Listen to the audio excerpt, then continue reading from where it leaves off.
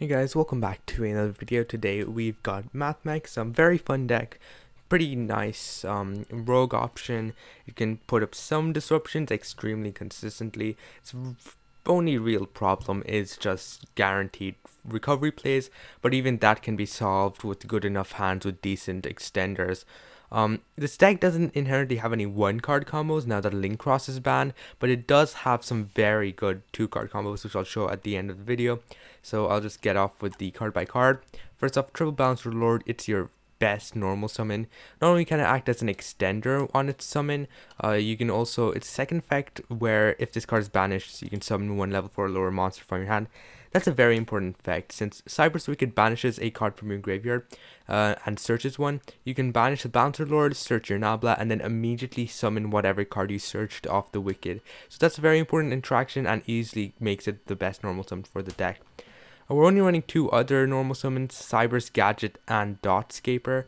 Um, these are just one card linked to since any one card linked to plus a math mech is inherently um a one variation of a combo.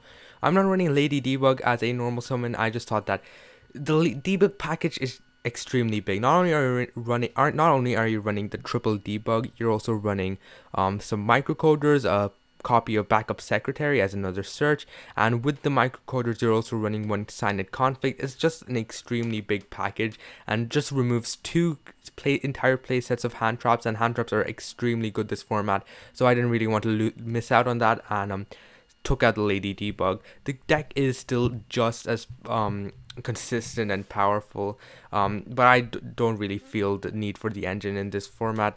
Uh for our MathMech cards, we've got triple addition, triple subtraction, triple sigma. All of these can just summon themselves out on our free extenders.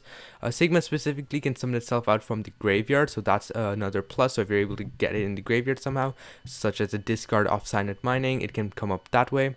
Uh, we've got the double Nabla, double diameter. Both of them are inherently searchable and can't really be used on their own, but they're still extremely powerful cards regardless, and uh, the two of it's worth it, especially since you're very likely getting both of them in the graveyard on turn one thanks to Super Factorial.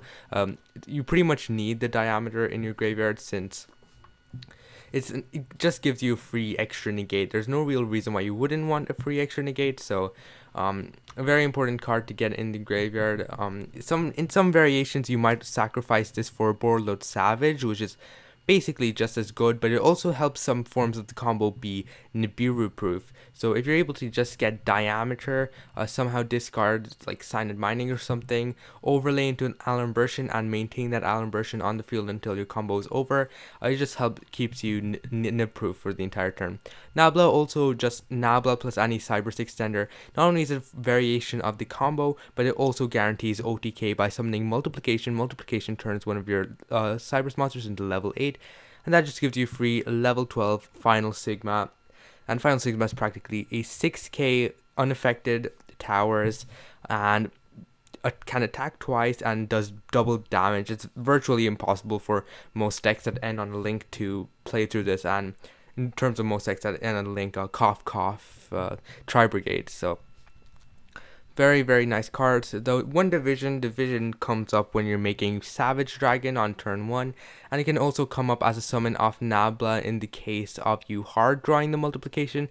While it's not the most um, common thing, it still can come up and its extra utility as a an extender can just come up. So I am running it despite uh, it's it can't really do much on its own, but it's still a pretty solid card regardless. Um, Triple Exceed, best Cyberse extender in the game. It summons one from your hand, one from your deck for virtually no cost. It's just absolutely broken. Helps you get into rank 4 play earlier on.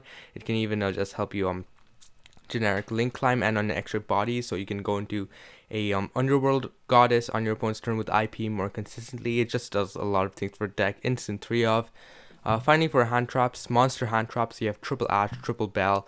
Uh, best monster hand traps for the main deck in this format. I feel uh, Bell just hits every single deck, and so does Ash, so pretty much staples. For spells, we've got the one Call by Grave to play through hand traps, triple Cynet Mining, just an extra searcher. Uh, Equation, it is a searchable monster reborn, so you only really need one. And finding the one Gold Star with the addition of Dotscaper, it basically turns into an E-Telly, which is pretty nice. We are only running six traps, which helps, which allows us to play Imperial Order, and Imperial Order just blows out so many decks. This format is stupid. Uh, Imperm is another really great hand trap that's seeing more play this format. Uh, it can help deal with certain boards, and since not a lot of decks are combo decks, you can shut down some boards too. Um, specific, specifically Tri Brigade. It's just really, really clutch versus Tri Brigade. Uh, the one super factorial, it is a hand rip, a monster pop, and a negation all in one. Absolutely busted card, and it's searchable. Uh, this is your main form of disruption in most hands, so you do want to try to search this as often as possible. That's it for the main deck. We've got extra deck, Savage Dragon, Final Sigma. Savage Dragon, as I said, comes up in a combo I'm going to show you, so uh, do, do, keep that in mind. Final Sigma, it's a 6k attack towers that just OTKs out of nowhere. It's very difficult to deal with, it, especially since, um, well, just as soon as it's summoned, you, it's unaffected by card effects, and when you make it on turn 2, it's very easy to not turn two, turn three is very easy to play through Nibiru two. Um, since it just needs Nabla plus any Cyberse extender. It Final Sigma is literally just your fourth summon, and even if it was your fifth summon, it's still unaffected by card effects, so your opponent cannot nib. Uh, it's just really really nice. It also floats into a mathematical equation which is um, notable, I guess, uh, but it doesn't really get any of its effects, so there's no point in reviving it off math equation. You'd rather just revive something like a Nabla, for example. To Alembertian, you often make the second Alembertian on turn 3 just because, um, you know, follow-up reasons if you're not able to guarantee an extra Alembertian on turn 1, so keep that in mind. Uh, the one location you're going to get a super factorial. Is, is, you're just going to get this off super factorial, and it's a it turns super factorial into a, as I said, a pop, a discard, a spell or trap pop, up to four disruptions, and if you make it with diameter, it turns into a negation too, which is really nice. Uh, the obligatory access code very easy to summon in deck with like 18 extenders. Um, Wicked is a very important card simply because, well, searches Nabla, banishes Balancer Lord. If you have Balancer Lord in graveyard when you use Wicked, it basically turns into a summon up card from your deck. It's just really nice.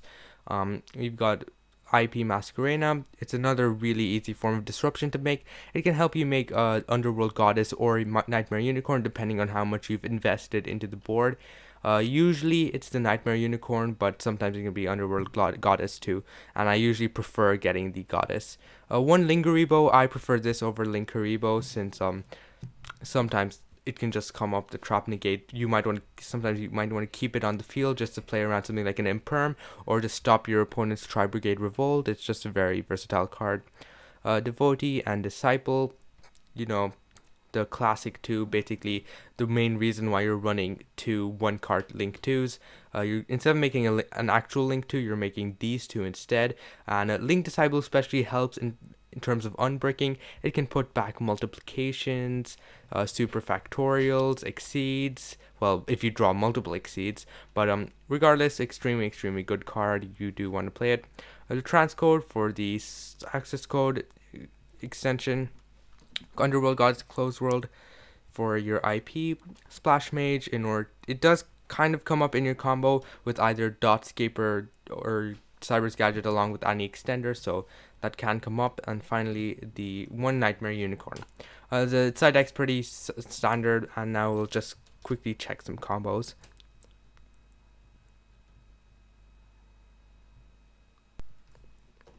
Starting off, we have Balancer Lord plus any um, level 4, well, plus any math mech monster basically. It does have to be a math mech monster in order to get the extra body um, name for super factorial. So we'll start off normal summon bouncer Lord uses effect, get another normal summon. Then we will link off into the Disciple and the Devotee.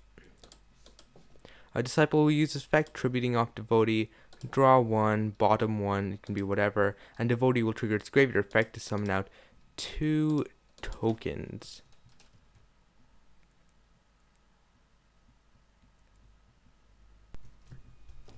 Now we'll link off to in order to go into the wicked. Link off this token for a Linkuriboh and then triggering Wicked's effect, banishing our Bounce Lord and allowing us to search a Nabla. Balancer Lord will trigger its effect since it was banished, allowing us to immediately summon said Nabla we just searched. And then we'll use Nabla's effect, tributing off a monster in order to summon another from our deck.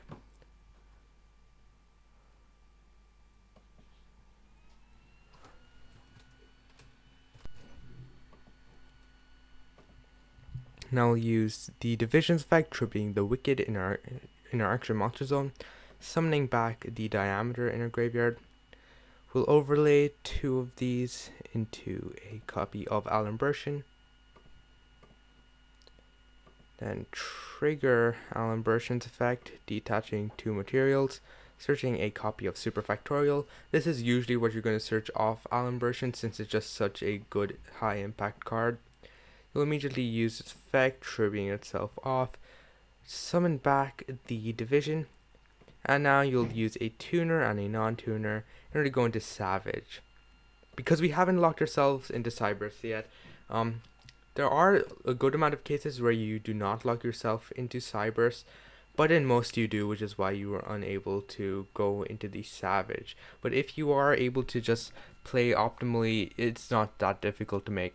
So on our opponent's turn, we're able to use the Factorial, summon back the three Mathmechs in our graveyard, and then we'll overlay all of them off into an Bershin. If I can do that. And then Bershin will get its just pop and hand rip effect. And then we also have the negation. So you have Savage Negate, Negate, Hand Rip, and a Pop. That is four disruptions, and we also get a Speller Trap Pop too, although that's not too likely to be honest, since most people set their hand during the end phase. Uh, not end phase, end of the main phase, whatever. But regardless, we'll just go on to another combo now.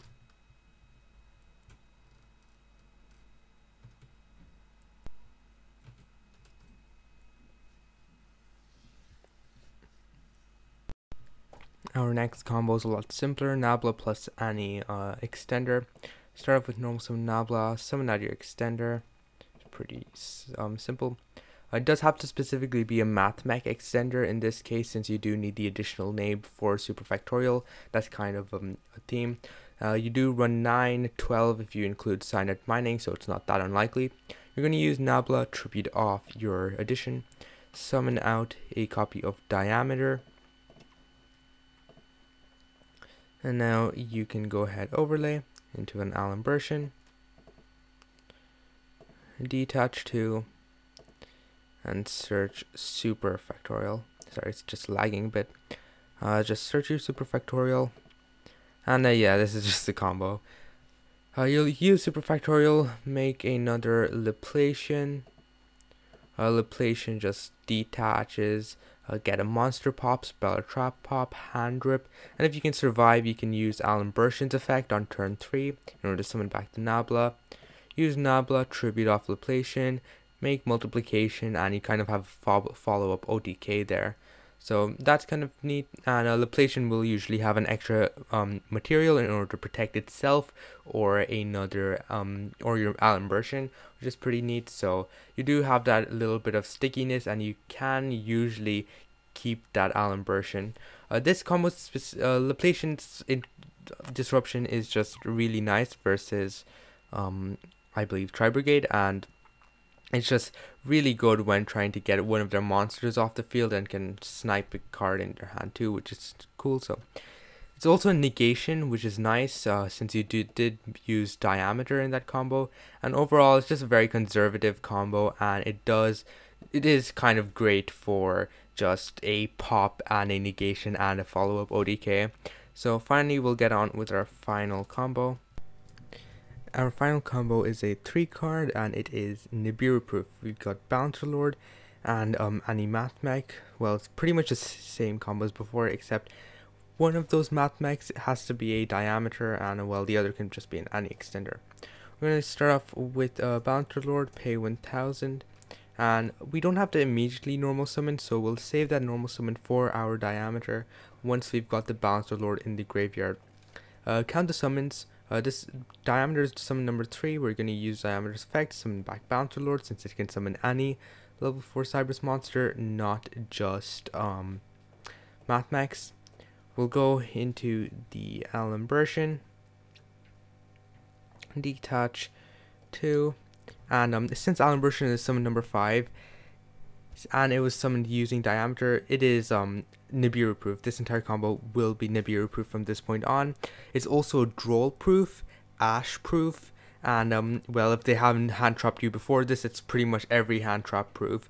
Um, it's very resilient in this regard, so you are just able to go ahead uh, and search out your super factorial and proceed like normal since you have the um, extra extender in hand in order to go into a devotee and you also have the um, balancer lord in your graveyard for your you know your regular plays.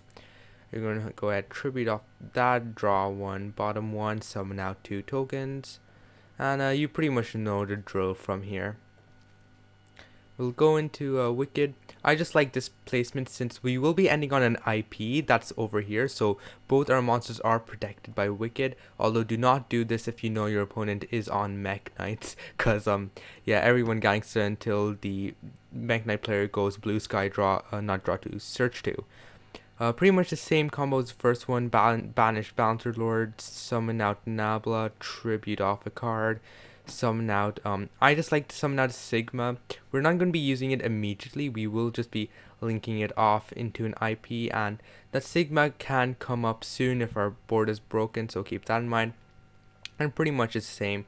We have the super factorial uh, summon out Laplacian just detach 2, um, pretty much um, a monster pop hand rip an extra negation since it was summoned using diameter uh, you can use IP's effect uh, linking off three monsters. Well, you probably shouldn't link off the Alembertian since it is your main follow-up play, uh, but you are linking off three monsters for this card and one of your opponent's monsters. So that's two monster pops and a negate and a hand rip. Um, once again, multiple disruptions, and you still have the Alembertian as follow up to summon out um, Nabla. And do not forget that this is actually a um, well, negate, I believe, that yeah, it's basically Ghost Spell, except it only works on special summons. So that's neat. Pretty decent um, combo overall. Uh, even still, you have follow up. You can, I believe, use, if I recall correctly, Division can tribute any monster. Um, if my memory serves correctly. Oh uh, yeah. So Division can no, it has to be Cyberse. Never mind. Uh, that's sorry. That's just illegal. But regardless, cool, cool card. Um, indestructible. So even if your opponent does have a card that targets this, it is indestructible. So hope your opponent's not playing Nightmare Unicorn basically. And that's pretty much the entire combo. And as far as it goes, um, cool deck that has some cool plays can OTK can put up a decent amount of interruptions if you it's a very fun deck to play too so if you enjoy it don't forget to like subscribe all that good stuff and I'll see you next time. Goodbye